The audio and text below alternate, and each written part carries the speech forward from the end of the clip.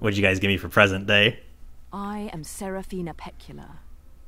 We witches are privy to many great occurrences from many worlds, and it is very rare indeed that a story engages us as this one did.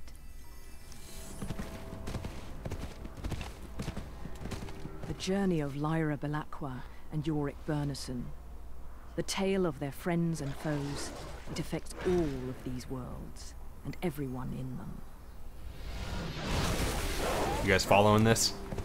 Yeah, polar bear, wolves, n- nothing to follow. Pretty straightforward.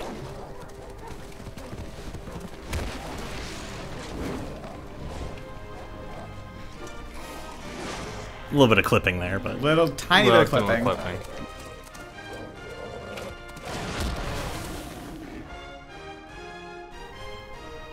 Strangest Coke commercial ever. It is my pleasure to serve as your guide through these amazing adventures. amazing adventures not guaranteed. I'm fired up. You know what, guys? Uh, normally, this is the part of the, the show where I come in and say, I'm fired up to be here. I don't know about this one. I'm going to be perfectly honest. Well, who? And we're back with the Golden Compass. I'm Judge Reinhold. I'm Diaper Chris. I have no internet name Anthony. Yeah, so I'm fired up. I don't care how you feel, but I'm fired up. Listen, I don't know anything about this. No, I, I don't know anything about this either. Uh, I think our, our esteemed leader judge knows a little bit about the Golden Compass. I know that there's Well- a, there's a movie and a book, right? I, I know a lot of people aren't happy with uh, blind runs of LPs, so you know I still wanted to have the reaction here. So I just watched the movie, and I'm the one playing right now. So the I watched the movie, so yeah, it's not you- quite a blind. what's blind. the movie about? Like It's not quite a blind run anymore. It's more of a lazy iPod play. you ex- you expect your watching the movie is going to guide you through the game. well, I understand most of what I've seen so far. I recognize the polar bear, Okay. and the little girl. Okay. It- now the polar bear is a spirit animal, right? Like I don't know much. No, Isn't the- Golden Compass about spirit animals? The Golden Compass is about spirit animals. These wolves are spirit animals. But Why are you killing? I thought spirit animals were our friends. No, the way that it works in according to the movie is that everybody has a soul Okay. represented by this spirit animal. So why And are you once- killing these people's souls? Yeah, and once the spirit animal dies, so does the person. Oh my god. Yeah. Why are you killing these wolves then? Yeah, Well- why would you kill these a spirit animal? Something funny I noticed. Oop. The ice is thin and weak. I am not. Polar your bear, Your bear talks. played The- by the? Sir Ian McKellen. Oh! oh, okay. I thought that was the rocks talking. Yes, the rocks. I thought they were spirit rocks. You know what the rock says? Know your context buttons. Yep. More. I like games that show you, you know, what button does what the whole time you're playing. That's So- why so many people love Ocarina of Time. Let's. All right. Now that now that we've offended like 90% of our core uh, viewership, I, I'm gonna I'm gonna tell you guys why I'm nervous about this one. Mm-hmm. First of all, I don't I don't know anything about this. Uh, We told you there's spirit animals. right. Gen- generally, Well, that was I- cool. Generally, I, I'm pretty positive on generic fantasy. Uh, Oh, and this fantasy is as generic as it comes. Is this fantasy or is this steampunk? That i- is is the sky blue or is it uh, wide? Touche. He- Here's why I'm nervous. Uh, every every night before I go to bed, Iorek, The camp where the Samoyeds took I'll that let them boy. talk. Yeah, yeah. We must hurry. They will not keep him there for long. So the camp talking or the bear? every every night before I go to bed, uh, Mm-hmm. I, I throw on Netflix because I, I I'm I'm someone who likes to have something to go to sleep to, right? And uh, every every night while I'm scrolling through things to, to watch, I, I see the movie Hugo, and I'm like, oh, that's the game we're gonna be let's playing. And then I'm like, oh no, it's It's it's, it's it's, Golden, Compass. It's not Hugo. I heard Hugo is good. Oh, I heard it? Golden Compass not so good. No, no, no, no, no, no. Hundred eighty million dollar budget made sixty million. So we're not gonna get to see Golden Compass too, is what you're saying? No, there are a lot of conspiracy theories about that on the internet. Uh, whether or not it has to do with the Catholic Church, because the the author Pope. of this, what? The Pope? No, We'll get to that. The author of this is a militant atheist. Militant, you say? Yes, yes. He- ever Why, again. why does he hate God? He wishes to undermine all of religious society With spirit animals. with spirit animals called demons, spelled as Damon. but Damon, but, it's pronounced demon. People in the know know that Damon is actually Like pronounced. like Matt Damon? That's not fair. Or like Stole my joke already, didn't you? You stole my joke already. That's fine. I don't care. Chris is jumping the gun tonight. That's gonna be his mo. Stealing everybody's jokes. I'm just kidding, Chris. I love you. you guys like that joke? I'm gonna get. If you liked it a lot, you should write in and tell Anthony that you're upset that I stole his joke. I'm gonna do a little real talk before before we get too too into this. Mm-hmm. Uh, you mentioned that the, the, the there's con- conspiracy theories online that the the Catholic Church has something to do with this movie not doing well. Mm-hmm. I'm, I'm gonna throw it out there. Um, you raised raised Catholic all my life. I, I was always confused as a child. I guess more as as a teen when I was you know more knowledgeable about these things. Why the Catholic Church is always super supportive of fantasy that's written by Catholic people like C.S. Lewis. It's almost as though it's like an insular club that rewards members. That's Yeah. amazing. I wonder why that is too. But- sense sarcasm in your guys' voice.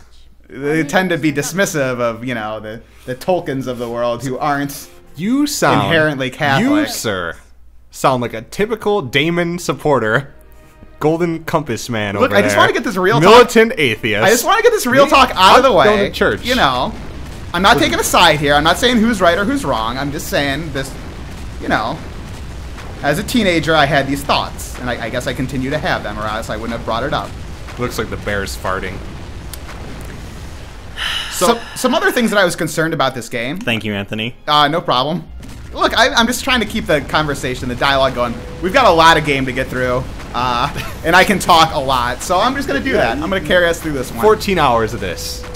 Uh, when when we we finally decided that we were doing this game, I was like, oh, that'll be fun. We get to dust off the old Xbox. Do it. Mm-hmm. Uh, no, Xbox 360. You know, I, I watched a couple of clips online. you Uh, thought it was for the Xbox. read a little bit about it. I was like, oh, these are some decent uh, decent Xbox graphics. This is a great Atari game. no, good. Xbox good. And we, look, honestly, we're, we're probably doing ourselves a disservice here by coming out and already shitting on this game. Who knows? It might be a ton of fun. Uh, it From all the reviews I've read, no. It has a Metacritic score of 46. Ah, that's great. Let me tell you about the Rotten Tomatoes score of Golden Compass the movie. Mm-hmm. I bet it's been 46. Well, I'll be damned. Life really imitates art. Now, now Hugo, Hugo, the movie you thought we were gonna Yeah. let's play. I can't. Or I'm sorry, it was 42, not 46. Aw. Anyways, but Hugo, 94%. is does Hugo have a video game? Can we play that? No, it's probably worse than the Golden Compass game, ironically. Okay. Usually, the better the game is, Right. or the better the movie is, you know, the worse the game. Okay. Do, do we know what Hugo's about? I'm sorry to derail. It's this about it, it's a He, here are uh, Iorek's armor. oh, neat. Nah, He's already wearing armor. Well, all right. Use your imagination. All right. Pretend he isn't, and now he does. Oh. Oof. Okay. So the he, Iorek is an armored bear. Right, And no. as I mentioned earlier, it's played by Sir Ian McKellen. I'm I'm digging the bear. That's cool. Everyone likes uh, you know, bears messing stuff up. That's a that's a pretty cool concept. Indeed. So we've got that going for us. I like Yogi Bear. Now, would I say he's my Damon? So many of them. No. But you know what I'm curious about? Funny you should mention that, Chris. I am curious about what the Tasters' spirit animal daemons are. Ooh, I like that. So we'll have a little bit of examples a little bit later. Oh my god, this is that's vicious. That's this bear is Look at this bear is hungry. Let me let me tell you. Hungry like the wolf? he's, No, no. he's tearing apart these wolves like the atheist logic is to religious dogma. Spoiler alert, my spirit, Dogma, you get it? Because they're wolves. spoiler alert, my spirit animal might have to do with some something to do with 80s pop sensation Duran Duran. Just a just a hint. I, am not saying that's what it is. You're trying to say it's a wolf. Uh, I'm look, I'm hungry. I'm Am gonna, I hungry like a wolf? I'm gonna clue you I in. don't know. I'm gonna clue you in. All the bad guys in the movie have wolves or like Dobermans Oh, you as could their. flurry him. Oh, give me a McDonald's flurry. I, uh, look, I think that the the the t- that most of the experienced tasters would agree that I, I'm probably the villain of the, this pod play. That's true, maybe that's true. you It's know. up for debate. Well, I mean, like, what do you think happens first? Because when you're a kid, apparently your spirit animal is constantly changing, and then eventually it settles. Oh, that's so like nice. every thug has a wolf. So they're like, when you think when their spirit animal settles on a wolf, they're like, well, the henchman or club bouncer. Well, maybe maybe that's a that's uh, telling. That's a, that that the thugs are inherently childish in their belief. Perhaps. Ah. Perhaps. I mean, whoa. The victory cool. dance. I like the part where you did the flurry. That was pretty cool. That was my favorite part. Uh, overall, I give that fight sequence a B. Thanks. Okay. I'm gonna press Y for action. Oh, neat. I like how uh, the game has started us in uh, in what the Greeks would say. Uh, i- for, forgive me if I fuck up the pronoun- pronunciation because I wasn't in. Uh, Day of Sex Machina. nope, swing and a miss. Oh. Uh, Um, olives. E, e Olives. pluribus unum. Swing and a No. miss. Strike two. The Ich bin ein Berliner. Got it. Nailed it. Oh. Crushed it. Home run. Uh, N N En fuego. en fuego en And- medias and uh, Mediterranean salad. yeah and Mediterranean salad. I like they they put the the, the feta, maybe some olives. Uh, yeah, I like that. Uh, am I a lamb guy? Not always. I, you're not. Don't lie to the taster. The tasters are smarter than that. They know you're a chicken nugget guy. You're not a lamb guy. You're guy. the Nug Man. He's the nug man. Uh, I am Nugman. Is my spirit It's too late to animal a reinvent chicken? yourself. No, my spirit animal is still changing, and it's going to be changing throughout the course of this LP. You are I'm but a still growing. child. I'm but a child. If, if Anthony's the villain of this group, I'm the child. That's true. No, I like that we've, we've started in the middle of I bet I things. It makes for way for find interesting storytelling. Uh, Iorek, if you help me up. You're in the middle of the action. in the middle of the action, it is like in medias something. I don't know. I don't speak Greek. Leave you Those- alone, Yeah. I'm a big girl, and plus I have Pan to take. Now, who's the girl? What's her name? Uh, her name's Katniss Aberdeen, and she has a spirit animal named Pan. And Pan is still changing. Uh, mostly for co- uh, plot convenience, it seems like. So are you gonna have to like use pan in different ways? Oh, cool. Woohoo! That was a good jump you did there. I didn't. Uh. I didn't find that to be believable. It's hard to grasp onto things when you're wearing mittens. Just saying. Look at look at this. Very, uh, very star-studded cast list of the movie. Uh, Daniel Craig, oh, Nicole neat. Kidman, Uh, James Okay. Bond himself. uh, I think we've mentioned this before. I, I Chris- love. I love Nicole Kidman. oh, yeah. Yeah, She's she's an older lady, but I. oof. Yeah, I- something about Nicole Kidman does it for me. Ruff. uh, Christopher Ruff, ruff. Lee as well. Christopher Lee, great, great actor. Mm-hmm. This this girl, I don't know her name. It's like Dakota Fanning. She uh she's great. She does a very good job. She is the best actor. It's a shame that um, the Catholic Church conspired against this movie because uh, I think she uh, had a pretty good career uh, ahead of her. And then she got into the drugs, No, as all child actors are wont to do. You- What I think you're going for shock value, Chris. I don't think it's landing. All right. Chris just being inauthentic here. I, I it's don't okay. appreciate it. I, and you're you're a nice guy. You're a nice Yeah. guy. You have a splint in your tooth, sure. You're, you're considering getting a gold tooth. I think that's a little thuggish. I don't like the road you're heading down. All right. Let me tell you about Dakota Fanning.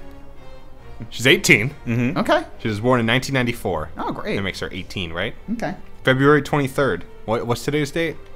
Uh, uh, Is it twen- is it boy, 23rd? let me no. Let me tell you something. Today's date, February fourteenth. That's right, folks. We're recording this on Valentine's Day for you. I'm, I'm gonna be. Re- I'm not gonna lie to the tasters like you are, Chris. Look, uh, you know, could we be with our loved ones? Yeah, Chris, could you be If with we your, had them, yes. Chris, could you be with your beautiful uh, wifey and, and, and wonderful dog? Yeah, sure. Judge, could you be with your on My like, anime pillow. Yeah. Fuck, you stole my joke. I was gonna be. I was gonna. I look. I set. I set him up for wife. I Man. Set, I set you up. I set me up for Japanese love pillow, and you totally threw it off. Don't worry, you I'll messed fix up all my jokes. I'll fix it in post. I If like, you I guys, like- if you guys like that joke, you should write in and tell Anthony that you feel upset that Judge stole his joke. that's gonna be my thing this season. We're calling them seasons, right? Seasons? Yeah. That's gonna be my thing for this season. I'm gonna be mad when you steal the joke that I made up.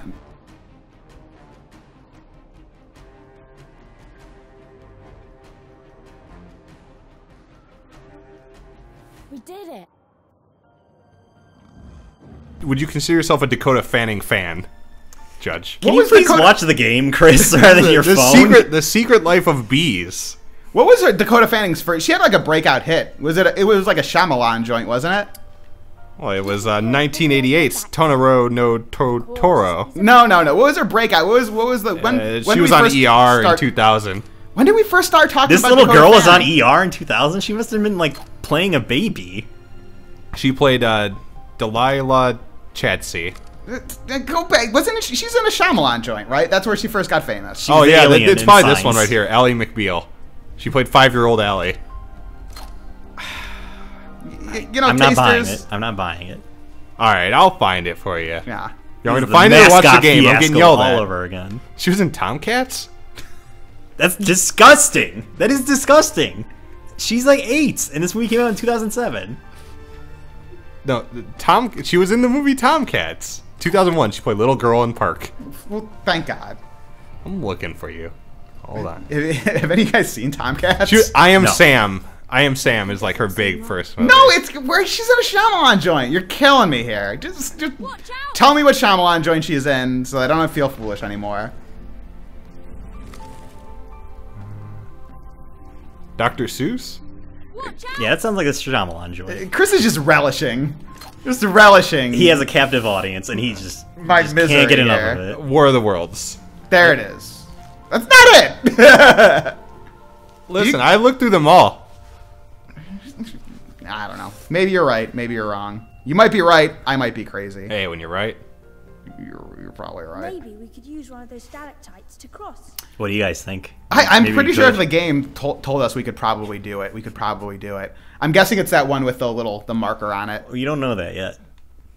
So Let's get some insight. okay. Oh, Press X for insight, huh? All right, I think we could go with that. Oh, just Okay. to jump away. Thank you, video game. Oh, okay, good. it's just a They put that in there so the kiddies can know it. know This is a baby Oh, game. okay. A game for babies. Um. Well, I, I mean, we can have a conversation on this, uh, right? So, so this game is guiding us a little bit. Oh, I do need to use that. Uh, uh, Ah. spirit guiding us? How do we feel about that? Is that is this a modern trope, or is this something that's here to stay? What, video- throwing rocks at stalactites. Video games. I think it's modern and it's cool. the more linear, the better, is what I always say. That's why my spirit animal right now is a snake. All right, now let's give this a toss. Wow, what an arm on that girl! She didn't even try. Rough. Call her up. Call her up from the minors. I'm calling the bullpen. Coach, bring in the righty. I'm making the sign. You can't see it? He's making a sign, folks. Genius work. Yeah. Genius work, throwing a rock at another rock.